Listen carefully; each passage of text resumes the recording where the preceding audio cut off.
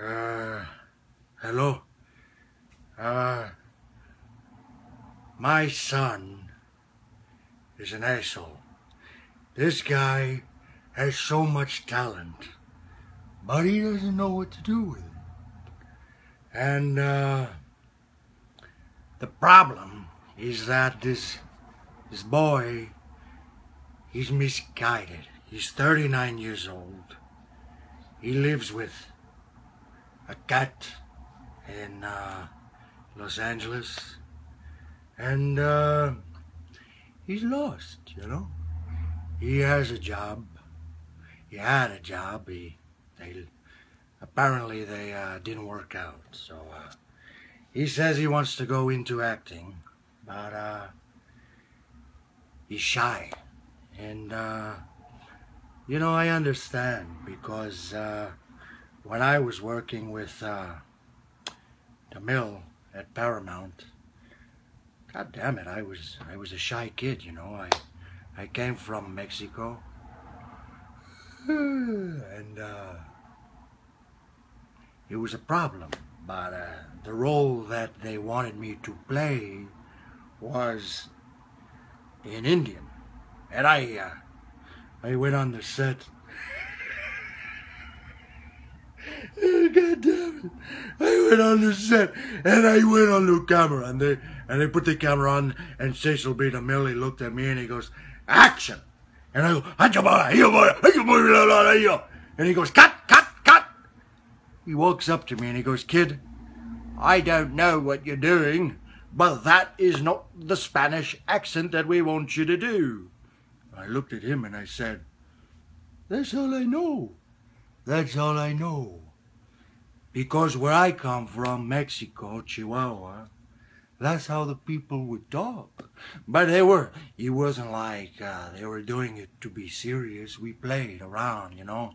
We played like Indians, you know. And they would go, how you will, how you will, how you will. And that's how we talked Indian. So I thought that's how it should be. So he said, fair enough. Fair enough. All right, let's roll it again. So we did the scene. I did it that way.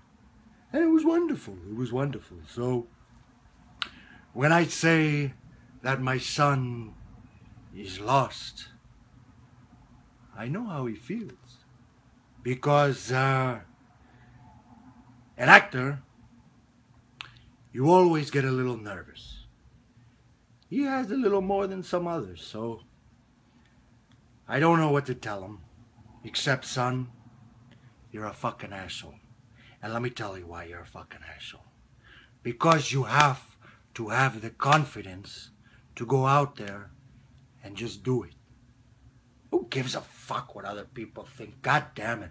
I'm tired of these people going, oh, I'm too scared. I'm too scared. What's he gonna think? What's he gonna think? Hey, hey, Charlie, Charlie, you gotta think of that way.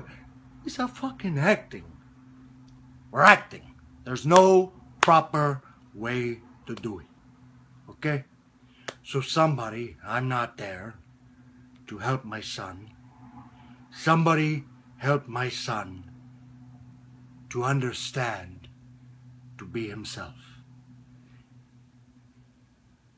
It frustrates me. It's a goddamn shame I'm not there to help him. I would take him and I would say, listen, you're to act and you're to do it now. And I'm to put you in front of the camera. And you're to do it.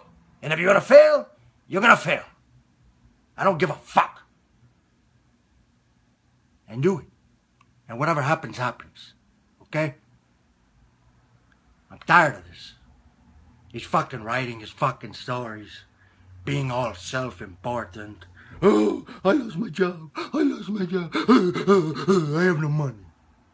You don't need no goddamn money, okay? You are Alex Quinn, a beautiful kid with a lot of talent. You go do it. I'm telling you, as your father, you go do it. Enough. Basta. Okay? I love you. God bless. I love you, son. Go, please. Make something out of yourself. God bless.